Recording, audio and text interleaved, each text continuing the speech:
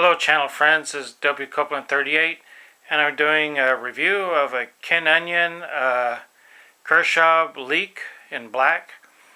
I'm going to go over the basics of the knife with you first. The handle itself is 4 inches long closed. The blade is 3 inches long so it has an overall length of about 7 inches. It has a speed safe opening, stainless steel design. It's got a unique black blade and actually a unique handle that I want to go over with you, which is kind of what intrigued me about this knife.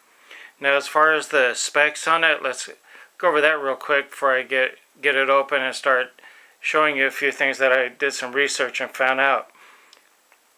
It's got a 440A black tungsten DLC coated stainless steel blade. Okay, we all know what stainless steel is, but I had never actually heard of a DLC.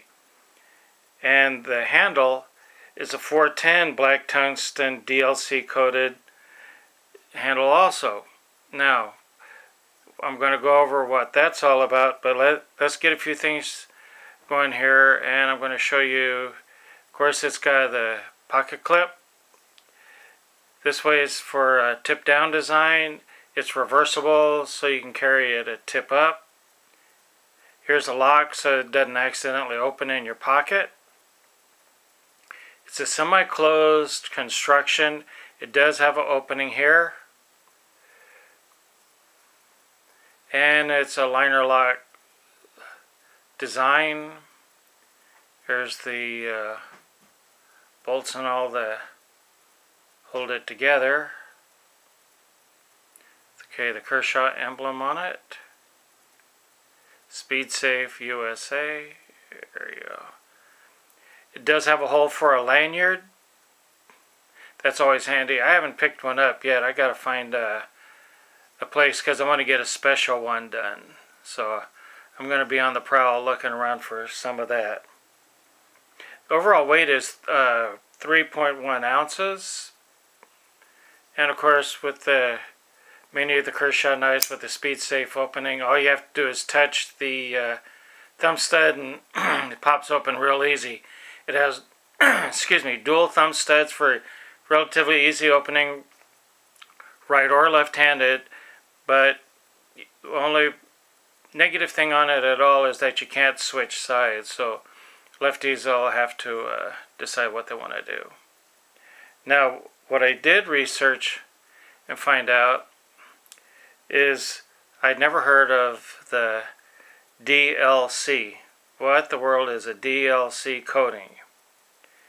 DLC stands for diamond-like carbon. Okay, diamond-like carbon, what's that? Well, what it's used for is to reinforce the handle to make it much more rigid and much easier to hang on to because even though you can't really tell in the video this has a texture almost like neoprene. It's very but, grippy but there's no dimpling. It looks smooth but it's not as smooth as it appears. And what the diamond like carbon does it, it makes the handle very very rigid and a lot more durable than just standard plastic handles or even regular nylon. It's supposed to be able to take a little bit more punishment. Now, it also has the DLC coating on the blade itself. If you notice, the blade and the handle are pretty much the same color. Well, they both have the same coating. Turn that over, you can see the 1660 CKT designed by Ken Onion. So what, what you wind up with is a blade that's at least as tough as the handle. So with the carbon coating on it, that helps it to resist corrosion and uh, environmental contaminants that can get on your knife, whether it's sweat or being carried in your pocket and just getting general dirty it's designed to uh, withstand that a little bit. Well, that to me is important because when you're spending 50 to 60 dollars for a knife you don't want it rusting out on you right away. Granted you do have to take care of it do the natural things you would do to take care of your uh, any kind of expensive equipment. Now as far as concealed carry it's good. The, the one thing that, I always pay attention to is how far down it's going to drop in the pocket. And with the clip being here your knife's going to protrude from your pocket about this far on the average depending on how, how you've got it set. Or if you just let it drop in with the lanyard sticking out then it's not going to be using the uh, this clip. So it's purely a uh, personal choice one thing I'm always impressed with with the Kershaws is this speed safe opening it opens with authority. You know it's coming out. And if you're actually opening this around people, it might be a little bit intimidating for uh, people that are kind of like spineless or something like that. But it, overall, it's a very nice, very well constructed knife. It's got a really good feel. I recommend you go down to any local store that has one of these in stock and see what I'm talking about because like I said, this feels like it's really smooth, but it's actually not. It's quite textury, it's a little, and it's got a little bit of grippiness to it. Now, one thing that you'll see is that there's no no dimpling and there's no ridges on it anywhere.